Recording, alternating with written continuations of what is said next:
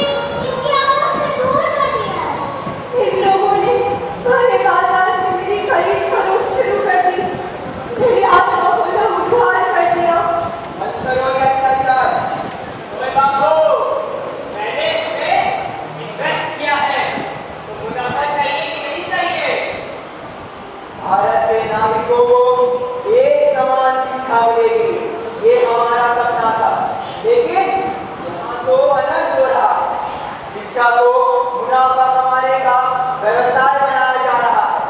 शिक्षा संस्थान डिग्री बेचने वाले सेंटर बनते जा रहे हैं।